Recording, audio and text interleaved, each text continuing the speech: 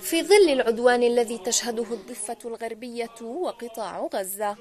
وما يعانيه الشعب الفلسطيني من بطالة وشح في فرص العمل.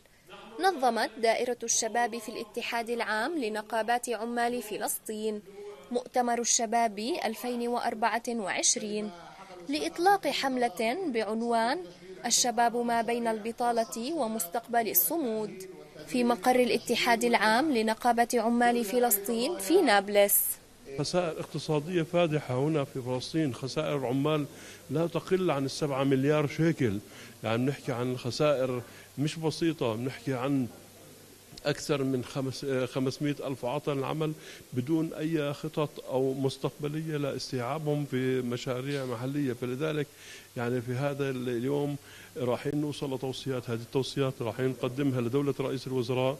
علينا أن نكون نبحث عن آليات للتشغيل والتخفيف من البطالة في هذا المؤتمر. وهناك حاضرين من صندوق التشغيل أو من مجلس الشباب الأعلى للشباب والرياضة والاتحاد العام للنقابات والغرفة التجارية.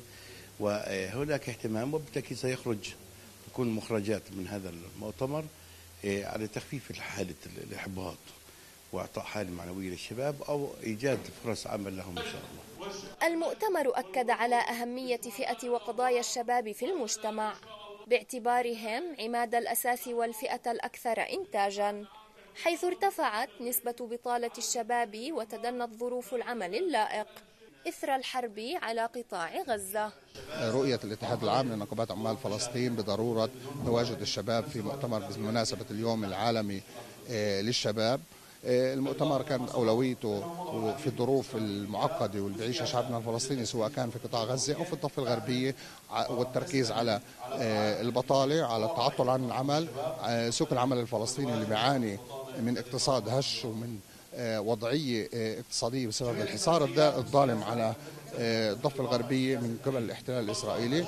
إذ سيتم تقديم شكوى للمؤسسات الدولية المسؤولة عن العمال والبطالة للمطالبة برواتب كل العاملين الذين أوقفوا عن العمل بشكل إجباري وقسري داخل الخط الأخضر.